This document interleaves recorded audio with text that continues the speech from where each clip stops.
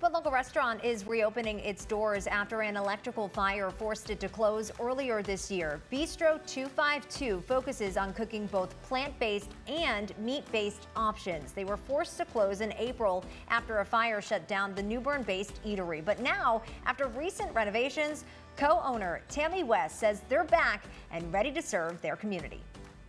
Um, but right now we're getting the word out. Um, they're coming back in.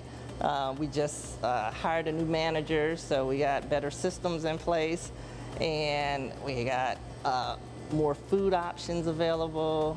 Of course, for our plant-based community, um, as well as our hardcore meat eaters. Uh, so we just want everybody to come on out, check us out, give us a chance.